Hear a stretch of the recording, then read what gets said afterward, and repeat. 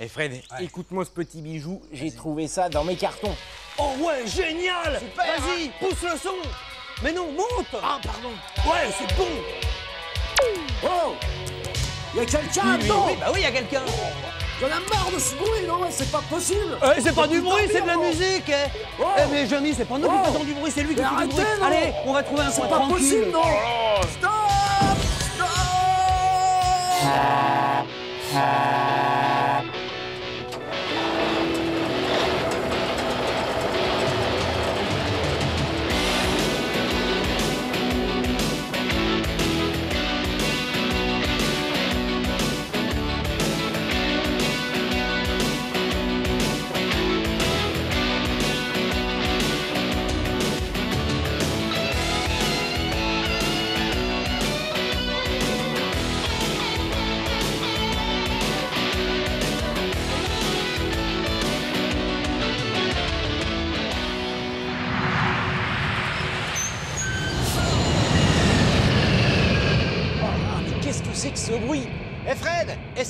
d'où ça vient Si vous voulez être vraiment tranquille et échapper complètement au bruit, je dis bien complètement, il y a une seule solution, c'est d'aller dans l'espace, au-dessus de l'atmosphère, car le son, le bruit donc, circule dans l'air. Et comme là où il n'y a plus d'air, eh bien forcément, il n'y a plus de bruit. Donc sur Terre, on n'y échappe pas. Remarquez, il y a bruit et bruit, car il y a des sons plutôt agréables à l'oreille. En revanche, il y en a d'autres qui sont euh, carrément désagréables. Ça, c'est insupportable. Ma voiture, on me vole ma voiture Eh non, j'ai rien fait Au voleur Au voleur Il y a vraiment des moments où on a envie de s'isoler. hein. Tiens, par exemple, en se mettant du bruit dans les oreilles. Remarquez, faut faire attention avec ça parce que le bruit, des fois, c'est utile. Ça peut avertir d'un danger. Malgré tout, on a beau essayer de s'isoler, il y a vraiment des moments où il n'y a plus rien à faire Jamy, je crois que j'ai trouvé le bruit de tout à l'heure Ah c'était donc ça, un avion Alors c'est quoi un bruit? Eh bien un bruit ou un son c'est exactement la même chose, c'est de l'air qui vibre et cette vibration se transmet de proche en proche. La preuve, quand je frappe sur cette poubelle, je fais vibrer de l'air et l'air fait vibrer la membrane. Voilà pourquoi les billes de polystyrène dansent sur la membrane. Alors pour l'oreille, c'est le pavillon, une sorte d'entonnoir à bruit, la feuille de chou qui capte les vibrations. Et ensuite, c'est le conduit auditif qui les canalise jusqu'à une membrane, le tympan. Et cette membrane vibre comme la membrane de la boîte à gâteaux. Alors Fred, ça va tes oreilles? Ça va, ça va. euh, moi, j'ai les oreilles qui bourdonnent hein, depuis le passage de l'avion. Je vais voir un ORL. Tu sais, les spécialistes des oreilles. Otorino-laryngologiste. Alors, il y a personne? Ah, écoutez, on n'est pas sourd, hein, ça va comme ça. Oh là là, Fred, tu vas te faire tirer les oreilles. Aïe Vous n'allez pas me faire mal, docteur Non, non, vous inquiétez pas. Euh, Qu'est-ce que c'est que votre appareil C'est un petit endoscope, une petite fibre, et je vais vous montrer comment les sons pénètrent dans votre oreille. Donc on arrive à voir là jusqu'au jusqu'au tympan Tout à fait. Je vais vous montrer Alors allons-y. l'entrée de votre conduit. Ouais, On pénètre dans le conduit auditif, comme les sons le font. ouais. Et tout au bout du conduit, vous avez la membrane tympanique. Vous le voyez le tympan là Tout à fait. Il est épais Un dixième de millimètre environ. Ah, c'est pas très épais alors. Dis donc, Jamy, tu dois le voir vibrer quand je parle. Mon tympan, ça doit faire comme sur ta maquette tout à l'heure. Tu vois quelque chose là? Quand je parle, ça fait du bruit, donc il doit vibrer mon tympan. Bah non, on voit rien. Et docteur, faut faire un petit peu plus de bruit. Alors, ça bouge? Bah écoute, euh, je te promets qu'on n'y voit rien. Et docteur, vous pouvez pas faire encore un petit peu plus fort? Oh oui, oh oui, s'il vous plaît, allez-y, un effort, un gros. Et là, ça bouge? Bah non Fred, je suis désolé, hein. Ça bouge toujours pas. Hein? On dit pas un, on dit pardon. Comment? Eh, docteur, pourquoi il bouge pas mon tympan? Mais il bouge ton tympan, mais les vibrations sont microscopiques. Mmh. Moi, je vais te montrer un tympan qui bouge. Lorsqu'on fait de la plongée sous-marine, on se pince le nez, et là, on peut le faire bouger, le tympan, En soufflant comme ça? En soufflant par le nez. Euh, oui, mais faut quand même pas trop s'amuser avec son tympan, hein, parce que c'est fragile, il peut se déchirer. Eh, Jamy, tu sais que ton tympan, il vibre pas de la même façon quand il entend ça ou quand il entend ça Évidemment que le tympan vibre pas de la même façon. Regardez ces deux haut-parleurs avec un son grave la membrane vibre plutôt lentement, avec un son aigu. La membrane vibre beaucoup plus rapidement. Eh bien, le tympan réagit de la même façon. La différence entre ces deux bruits, c'est la fréquence. Autrement dit, le nombre de vibrations en une seconde. Et cette fréquence se mesure en hertz. Alors avec un son grave, on a peu de vibrations en une seconde. Avec un son aigu, on a beaucoup de vibrations en une seconde. Alors l'être humain n'est pas sensible à toutes les fréquences. L'oreille a ses limites. Pour les graves, par exemple, eh bien, en dessous de 20 Hz, 20 vibrations par seconde, nous n'entendons pas. Et pour les aigus, au-delà de 20 000 Hz, 20 000 vibrations par seconde, nous n'entendons pas non plus. Tiens, les éléphants par exemple, pour communiquer, ils émettent des sons à très basse fréquence. On appelle ça des infrasons. Pour les capter, ils utilisent le très grand pavillon de leurs oreilles et ces sons-là, nous les humains, on ne peut pas les entendre. Le serpent, quant à lui, perçoit des sons inaudibles pour l'homme. Son corps ressent toutes les vibrations du sol. Ça lui permet de localiser les proies. Ensuite, eh ben, c'est au plus rapide. Dans l'eau, les baleines à bosse en particulier peuvent communiquer à des centaines de kilomètres en émettant des ultrasons, des sons très très aigus qui ont une fréquence supérieure à 20 000 Hz. Le dauphin, par exemple, peut émettre jusqu'à 170 000 Hz. Mesure-toi. Ouh, mais quelle horreur On dirait que t'as une petite bête au milieu de l'oreille, Fred. Comment ça, j'ai une bête dans l'oreille? J'ai une bête dans l'oreille? Non, non, c'est pas, c'est pas une bête, c'est simplement le, le manche du marteau, qui est en fait le premier osselet de la chaîne des osselets et que l'on voit par transparence à travers la membrane du tympan. Tiens, Jamy, montre-nous ce qu'il y a derrière le tympan.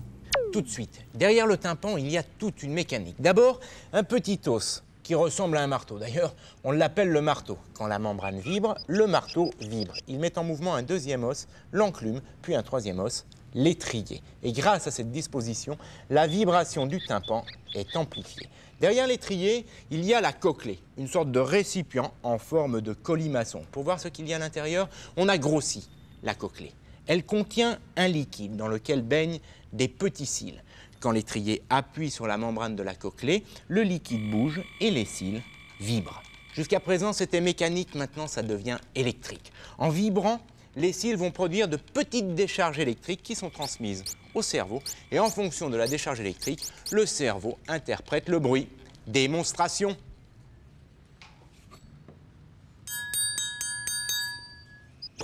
Le tympan vibre, le marteau, l'enclume, l'étrier, la cochlée.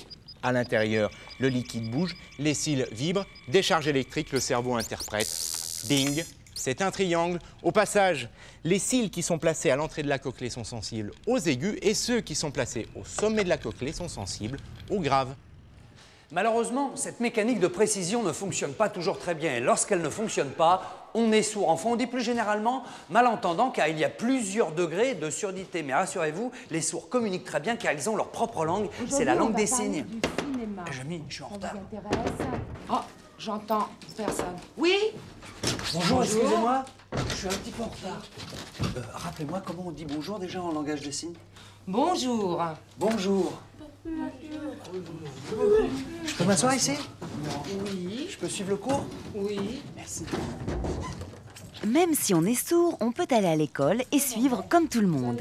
Ici, on utilise exclusivement le langage des signes. Cette langue n'est pas tout à fait la même dans tous les pays. En huit jours, on arrive quand même à se comprendre.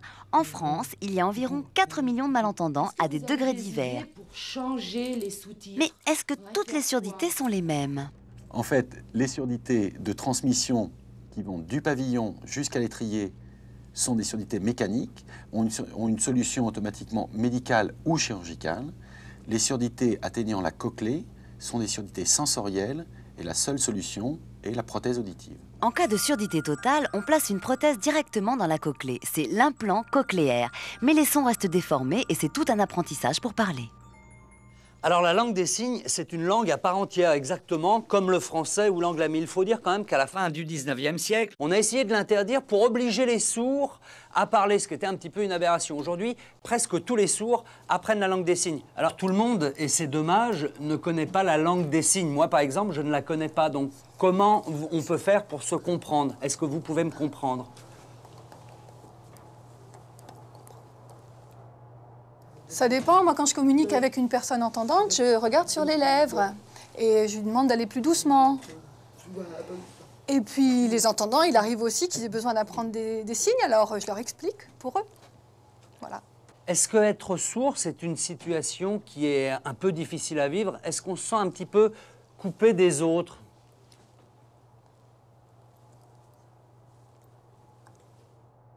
Par exemple, quelquefois, les entendants rient entre eux. Et les sourds ont l'impression que les entendants se moquent d'eux. Ils ne savent pas pourquoi. Ça, ça, fait un peu peur. Euh, on a un peu l'impression qu'ils ne se moquent pas franchement des sourds. Mais bon, à part ça, moi, ça ne me gêne pas de rencontrer des sourds, des entendants, d'échanger avec eux, de discuter avec eux. Il y a des relations possibles. Euh, si on reste enfermé entre sourds et qu'on rejette les entendants, euh, c'est un problème. Il vaut mieux avoir des relations avec eux. Alors, euh, quelquefois, on essaye de se traduire mutuellement. Quoi. On, a des, on a des espèces d'astuces pour se traduire. Comment on peut traduire le nom de l'émission C'est pas sorcier en langue des signes? C'est pas sorcier avec un gros bouton sur le nez. C'est pas sorcier avec un nez pointu, crochu. Ce n'est pas la sorcière, d'accord? C'est pas la sorcière avec sa marmite. C'est pas sorcier sur un manche à balai. Eh bah dites donc, ça a l'air drôlement imagé cette langue-là. Ça donne envie de l'apprendre et puis c'est pratique pour communiquer d'un côté à l'autre de la rue. Parfois, même ceux qui ont des prothèses l'apprennent. Ben Fred, qu'est-ce que tu fais? T'attrapes les mouches? J'attrape pas les mouches, Jamy. Je mesure le bruit qu'elles font. Eh oui, parce que le bruit, ça se mesure, il suffit d'avoir un appareil comme ça. Ça s'appelle un sonomètre. Et le bruit, on le mesure en décibels, sur une échelle qui va de 0 à 200 décibels. Pour vous donner un exemple, une mouche, ça fait à peu près euh, 10 décibels. Maintenant, on va mesurer le bruit d'une grosse guêpe. Enfin, je veux dire, d'un scooter. Alors, voyons voir. Contact. Un scooter au ralenti, ah oui, ça fait déjà 70 décibels. Maintenant, si on accélère, Oh là là Et quand on accélère, on arrive à 90 décibels, Jamy Regarde Mais oui, regarde, 90 c'est la valeur moyenne et en dessous 105 décibels, la valeur maximum. Et pour vous donner un plus grand aperçu de la puissance des bruits qui nous entourent, eh bien sachez que le tic-tac d'une horloge, c'est déjà 30 décibels. Un bébé qui pleure, ça fait beaucoup de bruit. 80 décibels, comme une voiture. Un chien qui aboie, tendez l'oreille. Oh le chien-chien, oh il est gentil le chien-chien. 90 décibels. Un avion décollage, c'est 120 décibels. Et alors, le top du top, c'est une fusée au décollage, 180 décibels. C'est énorme. Mais alors, Jamy, moi, avec deux scooters, je dois pouvoir faire autant de bruit que ta fusée, c'est-à-dire 180 décibels? Bah oui, c'est normal. Un scooter en accélération, ça fait 90 décibels. Deux scooters en accélération, ça devrait faire 180 décibels. Voyons voir. Tiens, c'est curieux, j'ai que 93 décibels ici. T'es sûr qu'il marche ton appareil? Bien sûr qu'il fonctionne mon appareil, seulement lorsqu'on ajoute deux sources sonores de même intensité, on ne multiplie pas par deux, on ajoute seulement 3 décibels. Concrètement, si un scooter fait 90 décibels et que l'on multiplie cette source sonore par deux, c'est-à-dire deux fois 90 décibels, on obtient 93 décibels. De la même manière, si on multiplie par deux cette source sonore, 2 fois 93 décibels, 4 scooters, on obtient 96 décibels. Encore mieux, Jamy, regarde 1, 2, 3, 4, 5, 6, 7 et 8. Avec mes 8 scooters, c'est normal, j'arrive à 99 décibels. Mais alors dis donc, il va m'en falloir combien pour arriver aux 180 décibels de ta fusée? Si 8 scooters font 99 décibels, 16 scooters, deux fois plus, feront 102 décibels. Et à ce rythme, eh bien d'après mes calculs, il va te falloir plus d'un milliard de scooters pour atteindre 180 décibels. Ça va pas, Jamy? Où veux-tu que je les mette? J'ai pas la place ici. Par contre, regarde, j'ai trouvé un scooter sans pot d'échappement. Écoute le bruit que ça fait quand j'accélère. Et là, on arrive en moyenne à 115 dB. Ça, c'est complètement interdit. D'abord parce que ça embête tout le monde dans la rue. Et en plus de ça, ça devient dangereux pour les oreilles. Surtout si ça dure longtemps. Et dis donc, toi qui es si fort, il faut combien de mouches pour arriver à 115 dB? Bah, pour arriver à 115 dB, euh, d'après mes calculs, euh, bah, il t'en faut un gros paquet. hein. En tout cas, ce qui est sûr, c'est qu'autant de bruit, ce n'est pas bon pour les oreilles. D'ailleurs, l'oreille le sait bien, puisqu'elle se protège. Que se passe-t-il exactement? Eh bien, au niveau de l'étrier, il y a un petit muscle. À partir de 85 décibels, ce petit muscle se contracte. C'est un réflexe. Du coup, l'étrier est retenu et l'intérieur de la cochlée, les cils, sont protégés. Seulement, cette protection n'est pas parfaite et au bout d'un certain temps, le bruit peut encore causer des dégâts. On considère en général qu'il ne faut pas rester plus de 8 heures exposé à un bruit de 90 décibels, plus d'une heure à 100 décibels et plus de 4 minutes à 110 décibels. Aujourd'hui, la principale cause de pollution sonore, ce sont les moyens de transport.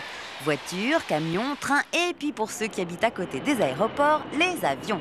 Et il y en a qui n'ont vraiment pas de chance, mais alors vraiment pas de chance du tout.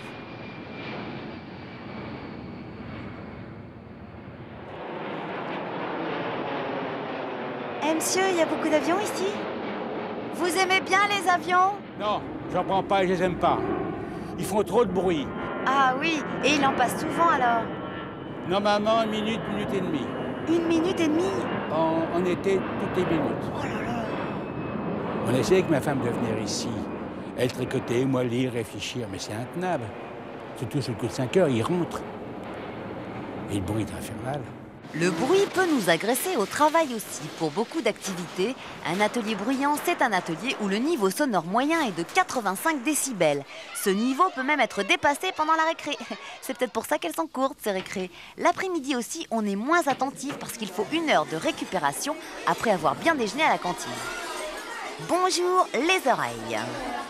La musique aussi, ça peut abîmer les oreilles, mais on s'en rend pas compte parce qu'en général, la musique, c'est plutôt sympa. Tiens, par exemple, ici en répétition, les caïmans montent à 115 décibels avec des pointes à 140. Vous voulez voir? Allez, vas-y, Eric.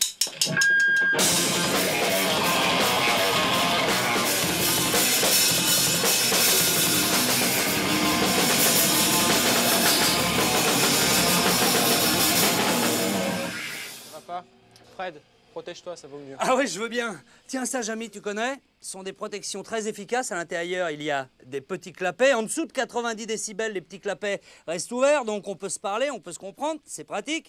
Et au-dessus de 90 décibels, ils se ferment automatiquement, donc l'oreille est parfaitement bien protégée. Tiens, dis donc, on dirait que tu as une banane dans l'oreille. Bon, c'est bon, les gars, on peut y aller.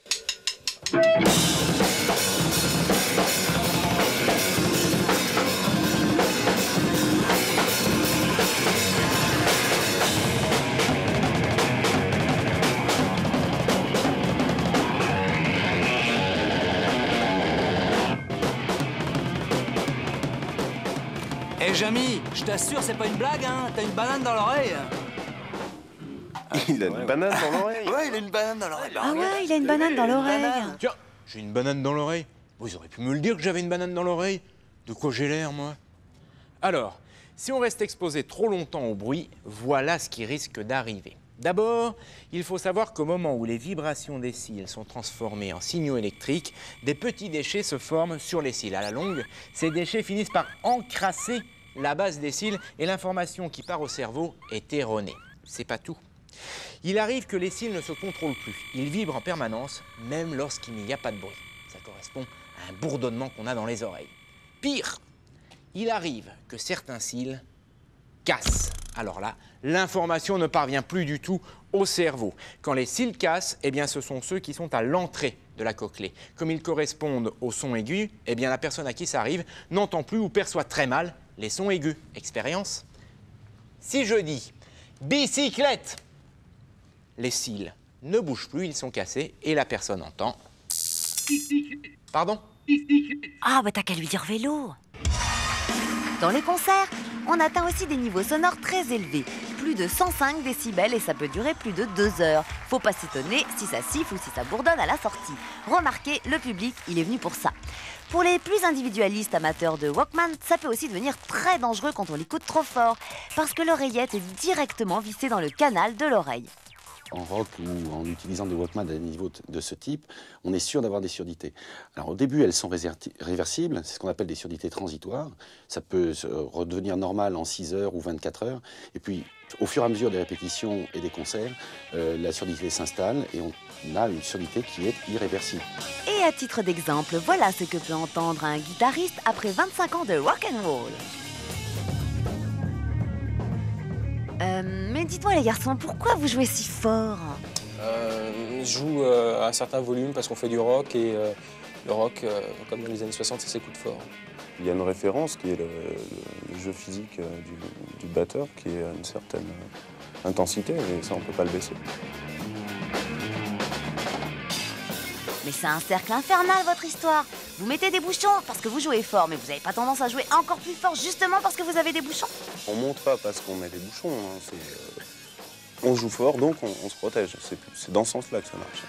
Et les boîtes de nuit, à l'intérieur, on peut atteindre 105 ou 110 décibels et les voisins ne doivent rien entendre. Et c'est pas tout. Le tapage nocturne, ça existe. Et je vous signale que le tapage de jour, ça existe aussi.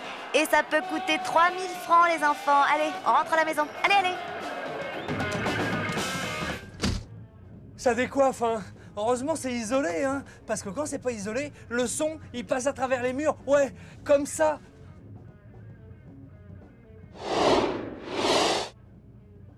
Et Jamy, j'ai traversé le mur. Oh là là, ouais, il a traversé le mur. Je sais pas comment il a fait. hein. En revanche, le son, je sais comment il traverse les murs et je sais aussi comment on peut l'arrêter. Le son, souvenez-vous, c'est une vibration qui se transmet de proche en proche. Finalement, on pourrait un peu le comparer à ce pendule. Le son fait vibrer l'air, l'air fait vibrer un mur et le mur fait vibrer l'air qui se trouve derrière. Si on utilise un mur plus épais, les vibrations vont avoir du mal à se transmettre.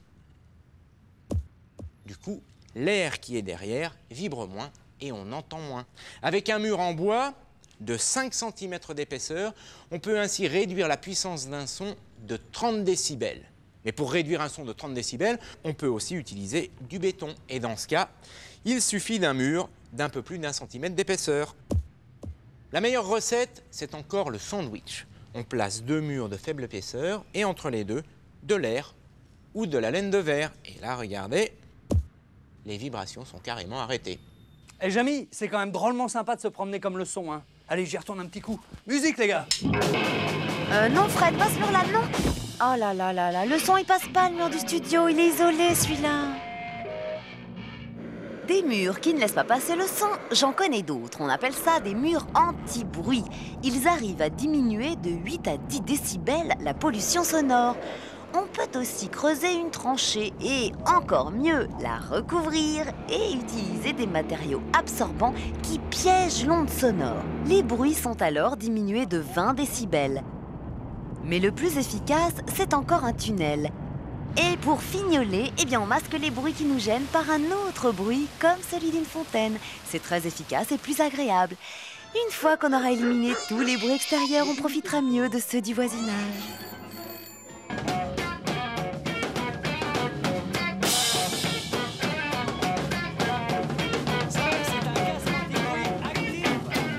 Vous m'entendez mieux comme ça Je disais ça, c'est un casque anti-bruit actif. Eric, on peut s'arrêter deux secondes Regardez, c'est une invention absolument géniale. C'est un casque qui vous envoie dans les oreilles un bruit qui annule le bruit qu'il y a autour. Enfin, en particulier les basses fréquences. Démonstration, on peut y aller.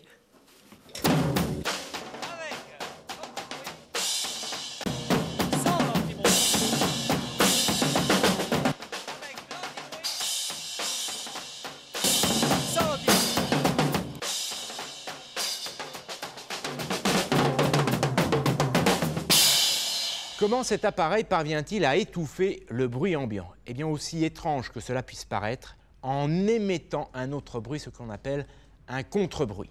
Un bruit, souvenez-vous, c'est une onde qui se propage, comme celle-ci, jusqu'à nos tympans. Si en même temps on génère une autre onde de même fréquence, regardez, les deux ondes vont se percuter et l'onde correspondant au bruit ambiant a maintenant beaucoup de mal à atteindre le tympan. Eh bien voilà comment fonctionne cet appareil. Aujourd'hui, dans certains métiers, il vaut mieux utiliser des casques anti-bruit, ne serait-ce que pour pouvoir communiquer sans être gêné. Parce que là, on est vraiment tout près de la source sonore. Dans d'autres métiers très bruyants, l'entreprise doit fournir des protections aux employés exposés. La surdité d'origine professionnelle est reconnue et indemnisée comme maladie, ce qui n'est pas toujours facile à prouver. Et puis, par peur de perdre leur travail, les employés hésitent à déclarer leur surdité. Arrête de patauger, regarde ce que je t'ai ramené. Oh, un casque anti-bruit actif. Ouais, tiens, ça marche. Ben alors, on peut recommencer. Allez, vas-y, mets la sauce. Ah donc. Ça marche bien, hein, tu m'entends? Drôlement bien T'as vu, on peut se parler en plus. Oh. T'entends pas un bruit? Ah non, non, non, j'entends, euh, je t'entends toi, mais c'est tout, hein